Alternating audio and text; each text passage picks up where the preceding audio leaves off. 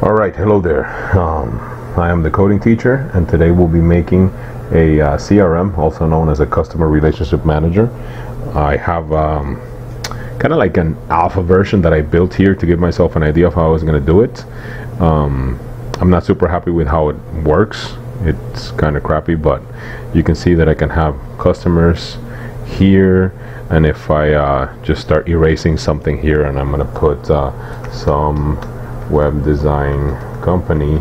And if you don't know what a customer relationship manager is um, this should kind of like help you out. It's kind of for like salespeople. So contact is Joe and their email is uh, joe at gmail.com um, whatever that's the website.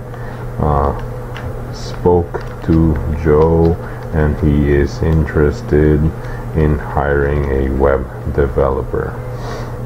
So what a customer relationship manager is is is a piece of software that can help coordinate the efforts of an entire sales force.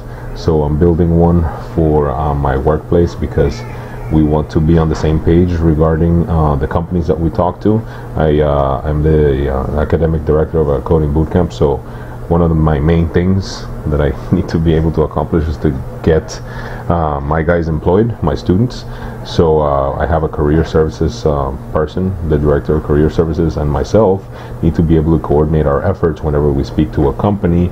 Uh, we should um, be able to have a central repository for all the companies that we're speaking to, and anytime that that either one of us uh, speaks to a new company or, or speaks or engages one of the existing companies, we should be able to update this data repository, and that way we have like a centralized intelligence about uh, the companies that we're speaking to. So this thing right here is what I'm going to be building. Is going to you're going to be able to create new um, quote unquote customers.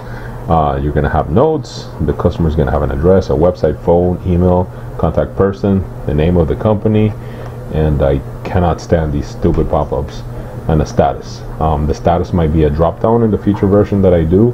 Uh, I'm going to be able to, the delete thing might be here. I'm going to be able to put an X here and delete uh, each one of those customers. Um, if I click on plus, uh, now that one should have gotten added here, some web design company, and it's right here.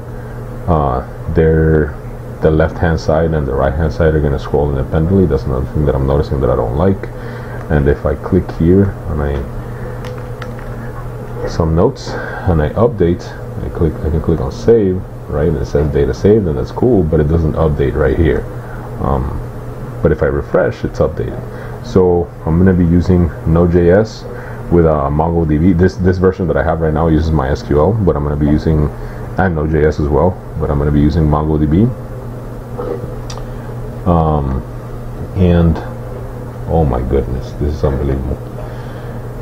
Anyway, I'm going to be using MongoDB. I'm going to be using AngularJS for the um, two-way data binding so that when I update something here, it updates here as well. And um, I'm going to be reworking the interface a little bit. Um, I think when I click on plus, I want all of these to blank out and uh, this is the most obnoxious thing I've ever seen. I haven't restarted my Windows computer in, in forever, and it's unbelievable the amount of pop-ups. I want to snap it in half right now.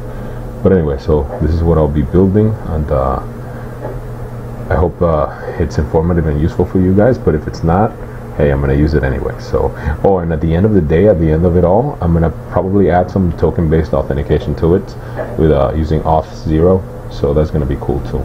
So if you want to see how to build all this, I'm going to try to explain a little bit about everything along the way. I'm going to explain a little bit about Node and explain a little bit about Mongo models. Um, I'm going to explain a little bit about uh, token-based authentication if I get to it. And um, I'm going to definitely explain a lot of bit about Angular, but not too much. Um, so if you want to, if you're kind of already know kind of what Node is and what Angular is, but you're looking for an exercise to follow along with and, and and to learn a little bit more and to to see some of the current coding practices in Angular and Node, then stay tuned.